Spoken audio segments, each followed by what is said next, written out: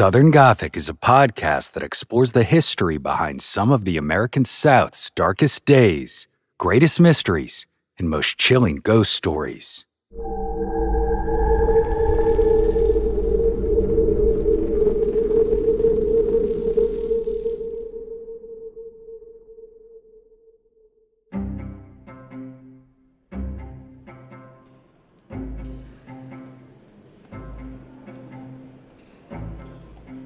On the morning of Tuesday, May 6, 1947, President Harry Truman addressed a crowd of over a thousand individuals in Washington, D.C., which included fire chiefs, firefighters, government officials, and representatives from industry, labor, and civic organizations. You see, in the aftermath of World War II, the United States found itself facing a new challenge here at home fire prevention. By 1946, the nation had witnessed over 400,000 fires, resulting in a devastating loss of more than 20,000 lives and a staggering $600 million in property damage. So the president demanded action, and the first national conference on fire prevention took place.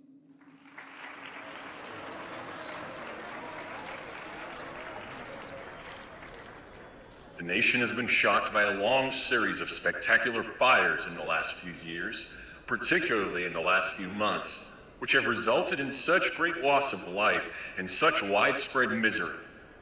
Just the other day, the Texas City disaster drove home anew the lesson that we must find ways and means to combat the ever present danger of fire and explosion. Great hotel fires of last year again showed that we cannot afford to entrust our citizens' lives to unsafe buildings. The conference set forth ambitious objectives. First, the president wanted to heighten public awareness of the problem. Then, he sought to identify the root causes of fires, formulate effective prevention strategies, and advocate for the implementation of fire safety codes and standards in local governments. Fortunately, the conference proved to be a success. It garnered widespread public attention to the severity of the fire problem and catalyzed the initiation of numerous fire prevention initiatives, including the creation of the National Fire Protection Association, which has become instrumental in saving countless lives. Unfortunately, in order to get here, far too many lives were lost, and too many families were forced to mourn their loved ones for what today seem like preventable tragedies.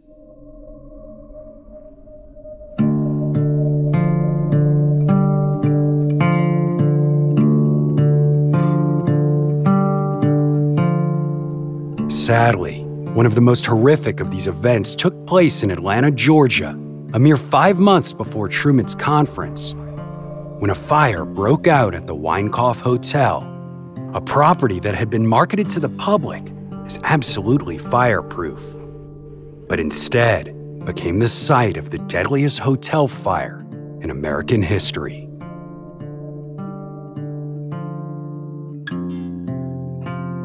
My name is Brandon Schexnayder, and you are listening to Southern Gothic.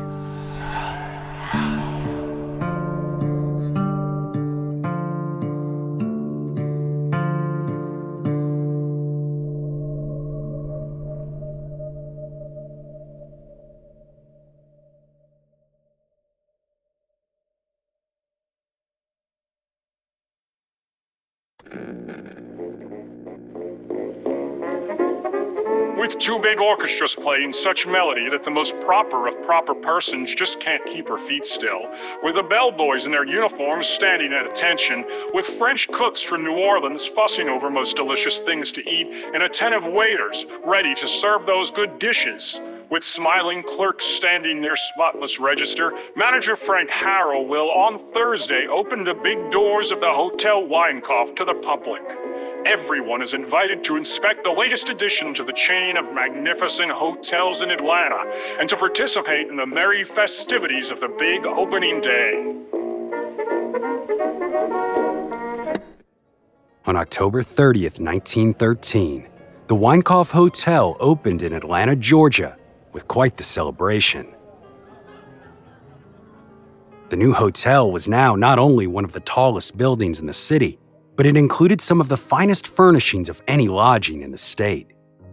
The lobby boasted Italian marble and oriental rugs, the dining room fine silverware, and the rooms included stunning views from what at the time were considered towering heights. It was located on the corner of Peachtree and Ellis Streets, on a small lot atop one of Atlanta's highest hills, in the heart of the city's rapidly growing downtown. Urban architect William Lee Stoddard designed the modern marvel, which stood 15 stories tall, although they did omit the 13th floor for obvious reasons.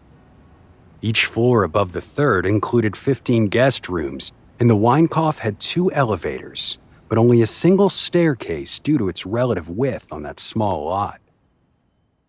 But one of the things that made the Hotel Winecoff so unique at the time wasn't just its size or the luxuries that it boasted. Rather, it was marketed as being, quote, absolutely fireproof. A designation that was pretty significant because during this period in history, large hotel fires were gradually becoming more and more common. In fact, just a little more than a decade prior to the Winecoff's completion, New York City saw its most lethal to date when the Windsor Hotel was destroyed by a blaze in less than 90 minutes, taking the lives of 86 individuals. So, as I said, this designation of being fireproof would have seemed quite significant. So much so that the hotel even included it on its stationery. However, what that meant wasn't quite what folks who read it believed, and the fate that it tempted would prove awful horrific. You see, while the building had a steel frame structure with walls and ceilings made of concrete and structural clay tiles, combined with the protection of 12 inch thick panels of stone and brick on the exterior, the interior was far from secure. The single staircase was made with non combustible materials, but it was not enclosed by fire resistant doors, and the hotel's interior corridor walls were finished with a painted burlap fabric extending several feet up into the wall. The room doors were a mere one and a half inches thick, and above them was a movable transom panel that could be opened for ventilation between the rooms and corridors. Not to mention, the walls inside the guest rooms were finished with as many as five to seven layers of wallpaper. Most chillingly, though, was that either out of hubris or incompetence, there were no automatic sprinklers or exterior fire escapes, and while there was a central fire alarm system for the building, it could only be operated manually from the front desk.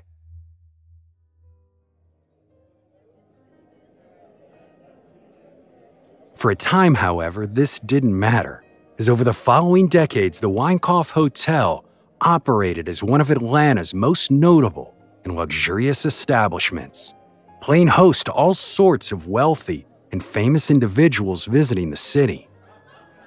And in 1915, the hotel's owner and namesake, William Winecoff, struck a deal with the Robert Meyer Hotel chain, who leased the building from him, but allowed him and his wife to live there rent free, which they did for over 30 years.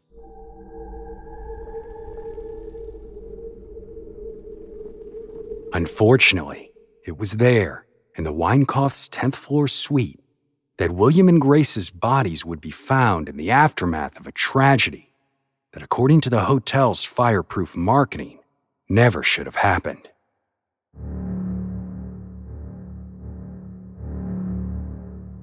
Sometime between 3 and 3:30 in the morning on December 7th, 1946, the front desk operator received a call from room 510 requesting some ginger ale and ice be brought up to their room. So the night bellhop got the items together and headed up in the elevator along with the night engineer, who's making the routine night check. But when the bellhop got to the room, he had to wait a few minutes outside, as the guest was apparently in the bathtub.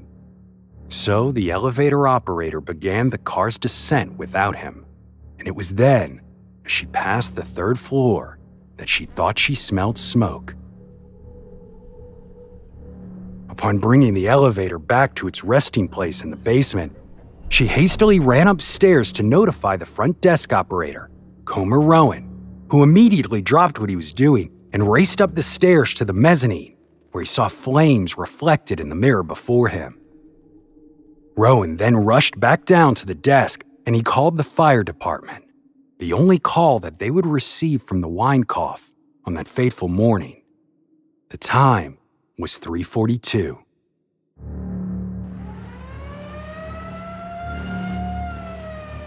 Within only a few minutes, three ladder and four pumper companies pulled away from their station just two blocks away and headed for the hotel.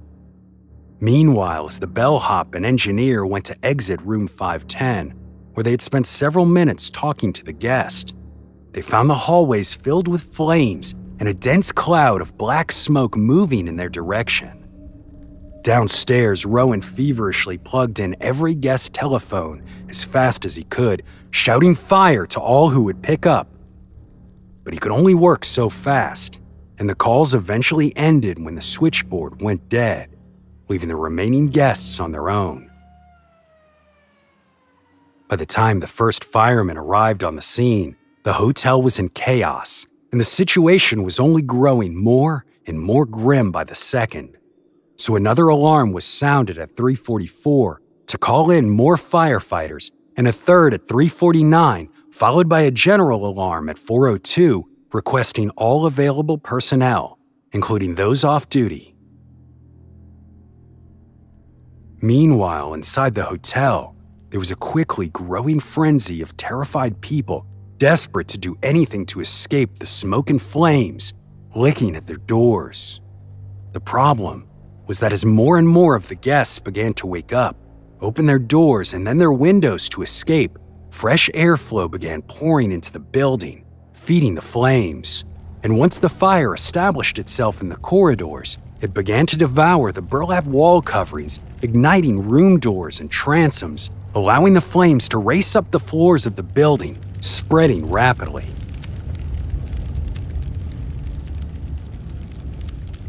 And with the corridors in flames, that single staircase became entirely inaccessible, stranding guests in their rooms, their sole exit being the windows.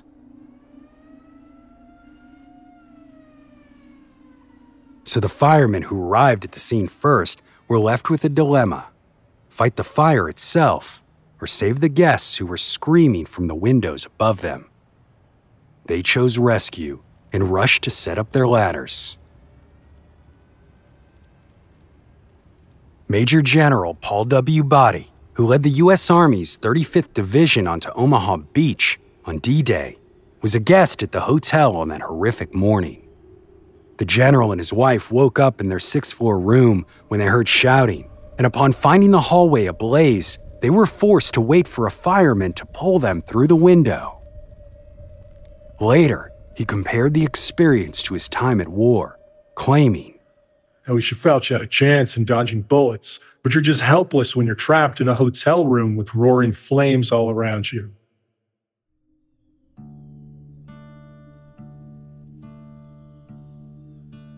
More fire brigades arrived soon after until eventually the city's complete 60 piece fire department surrounded the burning Hotel Winecoff, a force that included 185 firefighters, 22 engine companies, and 11 ladder trucks. Yet still, they could only do so much, and if the scene wasn't tragic enough already, guests soon began making the decision to take their fates into their own hands and some began jumping from the windows, a chilling situation that only grew worse when folks began to realize that the fire department's ladders were only able to extend to about the eighth floor of the 15 story building. Survivor Richard Hamill was nine years old the night of the fire and was staying on the 15th floor of the hotel with his father Carlos when the fire broke out. Hamill described what he remembered from that night to Atlanta's local news outlet. You couldn't see your hand in front of your face. It was very dense, heavy smoke. My dad said to us, I don't think we're going to make it. he could see that it was going to take a miracle. A lot of people did a lot of things like tying sheets together, getting down that way. A lot of sheets broke and they went down. There were people throwing kids out of the window. People were walking the ledges of the building trying to find a way out. It was a terrible scene.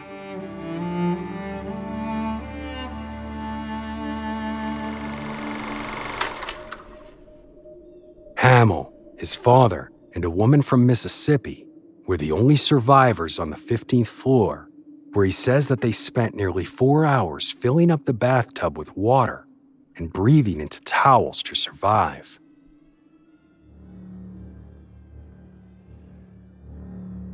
Firefighters climbed adjacent buildings to fight the fire from there and were able to rescue some guests from higher floors by extending ladders horizontally across a 10 foot alley. Meanwhile, on the ground, some of the men began using nets in attempt to catch any who dared to jump from the windows. Unfortunately, not everyone could be saved. A reporter on the scene described the horrific sight before them and the chilling decision that guests were forced to make, describing a woman standing on a seventh floor ledge gripping her two children. Her nightgown shone white against the flames behind her as she stood on the window ledge, high above the street. Then it too caught fire. She jumped, but she missed the net stretched by the firemen. She landed astride overhead wires, and there she hung in flames.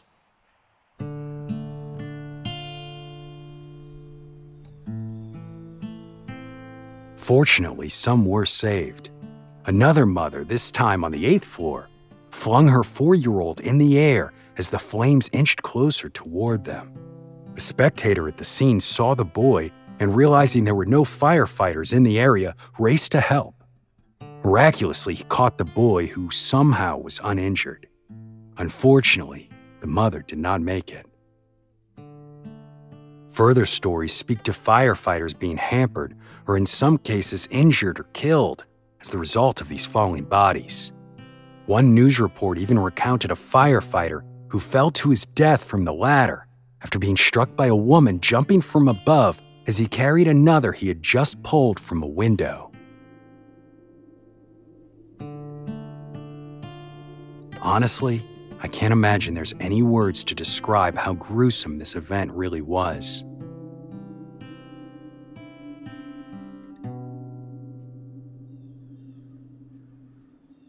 Finally, after six long, excruciating hours, the blaze was done. Tragically, the hotel had been particularly crowded that night. Christmas was getting close, so many were in town for shopping, while others had come to see the new hit Disney film, Song of the South, which was playing at the theater just across the street.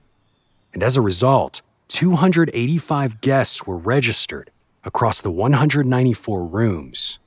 And of that number, 119 did not make it out alive, and an additional 90 were injured.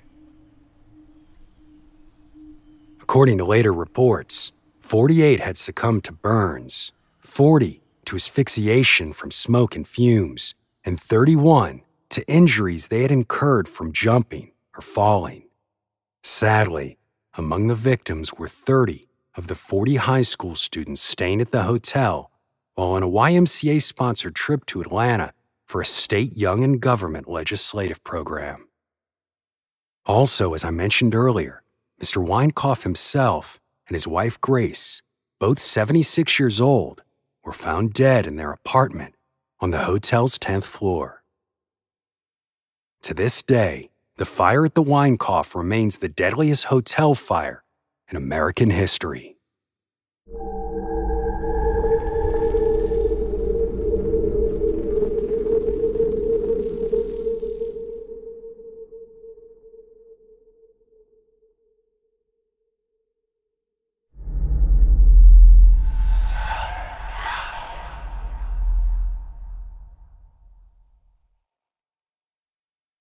On the morning of December 7, 1946, almost 300 people were sleeping at the Winecoff Hotel when that tragic fire started.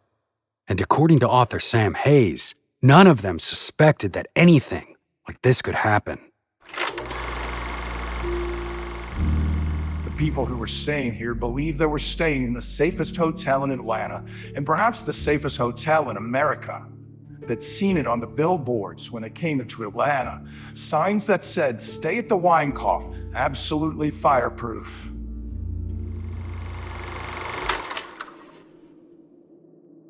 So, why were 119 lives lost on that fateful morning? Obviously, you've already heard me discuss some of the mistakes made during the design and construction, as well as the hubris that the designer and operators must have had to omit the installation of safety measures like sprinklers, fire escapes, or fire doors to seal the stairwell. But what actually caused the blaze to start? Well, two days after the fire, Atlanta's fire marshal Harry Phillips told the city council that the cause would likely never be established definitively. And that claim has stood true to this very day, as the cause is still very much disputed. The fire's point of origin, however, was determined to be in the third floor west hallway, where a mattress and a chair had been temporarily placed in the corridor and Phillips posited that a lit cigarette flipped onto that mattress by maybe an inebriated guest was the most likely cause of the inferno. After all, according to the U.S. Fire Administration, a mattress fire doubles in size every minute, so it's certainly possible that this is how initial flames sprung up so quickly. In December of 1946, not long after the fire, the Atlanta Journal printed this opinion under the headline Live cigarette, mattress blamed in the Winecoff fire. A cigarette carelessly thrown into a mattress stored in the third floor hallway was blamed by investigating authorities Monday for possibly starting the fire, which killed at least 119 people and injured 91 others in Atlanta's Winecoff Hotel fire early Saturday morning an open stairwell 10 or 15 feet from the point of origin, which permitted the flames to sweep upward through the entire 15 story building, and flimsy doors on the rooms were responsible for the great loss of life, investigators said. Investigators traced the fire from the burned mattress of a folding bed, which had been stored outside room 326 at the doomed hotel. The charred remains of the mattress were discovered by probers when they began their search.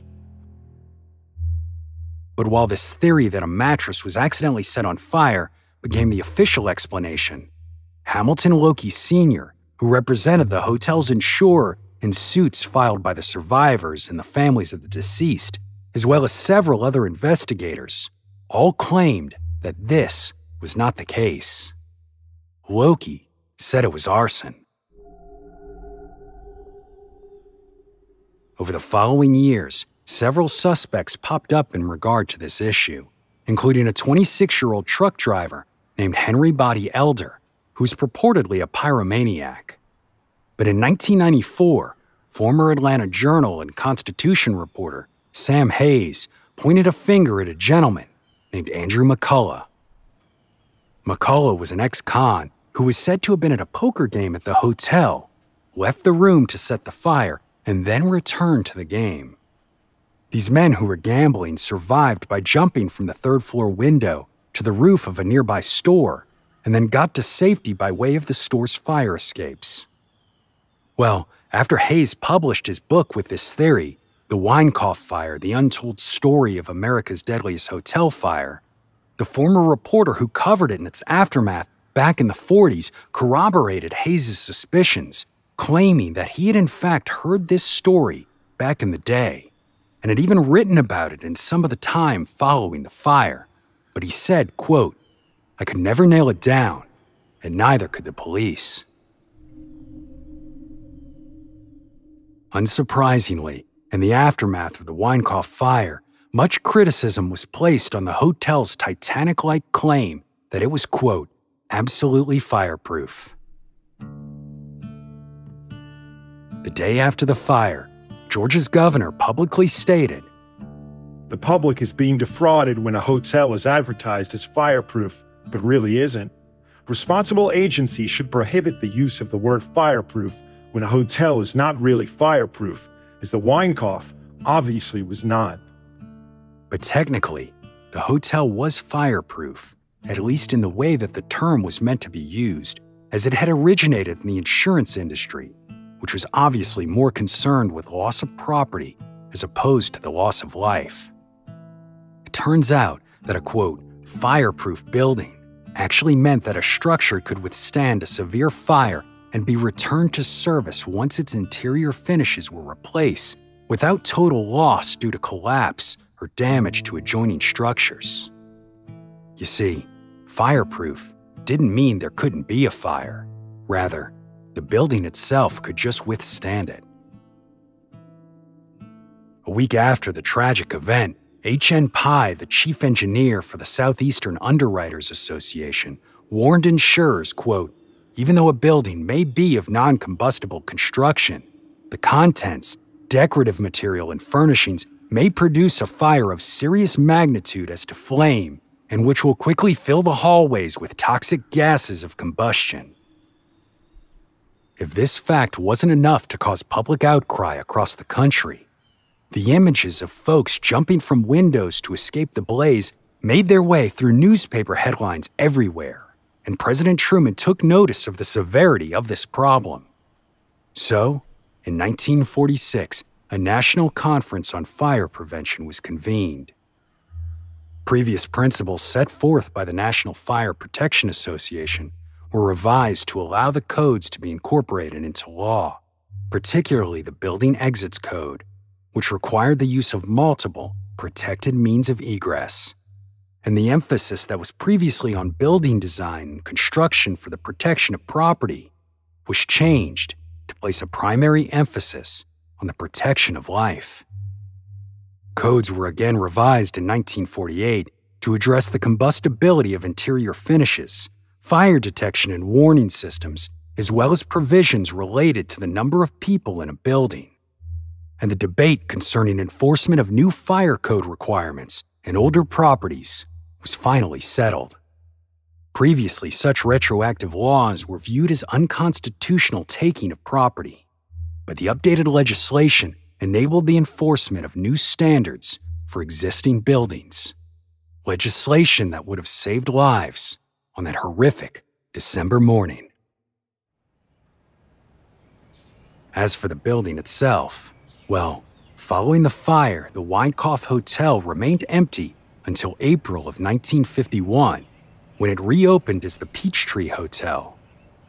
Then, in 1967, the building was donated to the Georgia Baptist Convention for housing the elderly. However, over the course of the next few decades, it was repeatedly sold to a series of potential developers while remaining empty until 1996 when the hotel's gutted lobby served as a souvenir shop for the Summer Olympics. Finally, in April of 2006, a $23 million renovation project began, and the former Winecoff Hotel was restored into a boutique luxury hotel after decades of vacancy.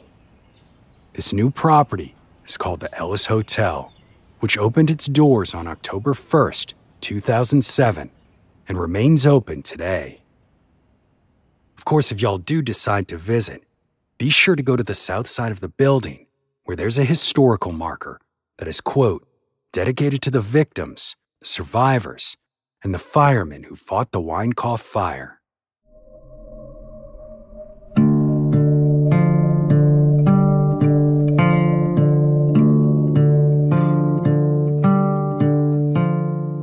This historical marker does more than just remind folks of the tragic loss of life that took place there in downtown Atlanta over 75 years ago.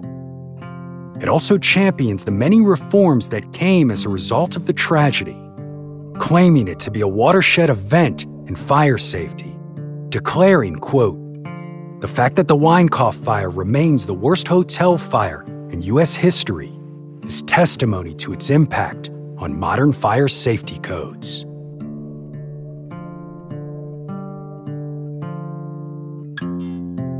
My name is Brandon Schexnayder, and you are listening to Southern Gothic.